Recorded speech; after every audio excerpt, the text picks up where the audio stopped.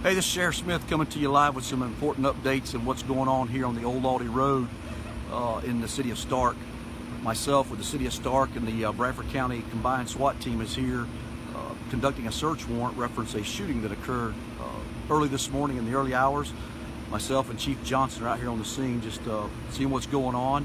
As you can see over our house, uh, the house over behind me is where the search warrant was being conducted because I want to let you know that the Sheriff's Office is cracking down on drug houses in the area and we'll be coming to a drug area near you soon. So if you're selling dope, it's a good time to make a decision. Either quit or leave Bradford County because we're coming for you.